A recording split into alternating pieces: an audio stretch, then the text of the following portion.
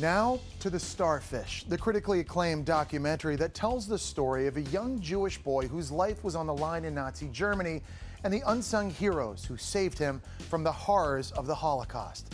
In this Daily Mail TV exclusive, Herb Gilden describes his harrowing experience and an emotional reunion 60 years in the making.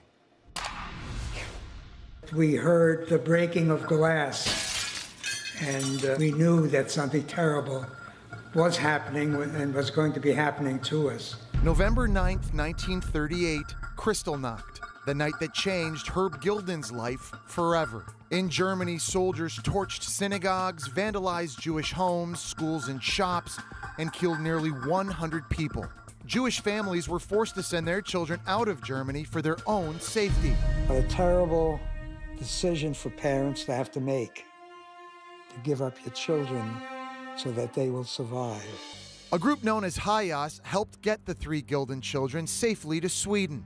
Syl was 14, Margaret 12, and Herb just 10. I remember very little except when we got to Sweden, we realized that we were in the same town but with three separate non-Jewish families. The Seelos were Herb's new family with several children of their own, and accepting his new lot in life, Herb began to flourish in Sweden. And the probability of my parents ever leaving Germany and us being able to join them again was probably zero. But the Gilden family beat the odds. The parents were able to emigrate to the U.S., causing a bittersweet dilemma for the children who could now reunite with them. Was I happy about going? Yes, but now again, I, you know, I'm, I'm leaving a mother. They became my family. After more than two years apart, the children finally reunited with their parents in New York. While living in Brooklyn, Herb tried to stay in touch with his Swedish family, but as the years went by, fewer letters were exchanged. One of my great regrets is that I didn't keep better contact with that family. Herb, who rarely talked about his past, graduated school, married, and became a successful business and family man. But nearly 60 years had gone by before Herb's daughter Mindy pushed the possibility of reconnecting with Herb's Swedish family.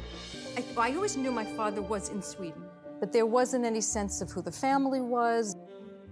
Maybe his family is out there, and what would it be like to to meet them and get to know them. So the Gildens researched, found, and contacted the Seelos, and in 2001, an emotional reunion took place six decades after Herb left Sweden.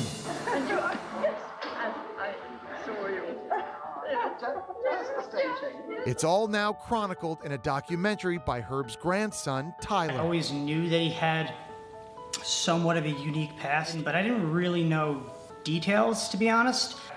All of a sudden, I was, you know, 28 years old, and I'm learning all these things about my family that I had no idea. The film is appropriately entitled The Starfish. As the parable goes, a man ridicules a boy for trying to save starfish on a beach. He's told there are too many for him to make any difference. Undaunted, I bent down, picked up another starfish, threw it into the surf, and smiling at the man, he said, I made a difference for that one. These families couldn't stop the war and help every Jew, but you know they did for one family. That's the idea of the starfish effect. Each of us in our lives, we have an opportunity to have a starfish moment. We should take that opportunity because you never know how it can grow. Herb Gilden, who turns 90 in a few weeks, tells us he has one more mountain to climb. He's been diagnosed with cancer, but like everything else in his life, he is facing his illness head on, saying even this battle is not impossible to overcome, and we certainly wish him well.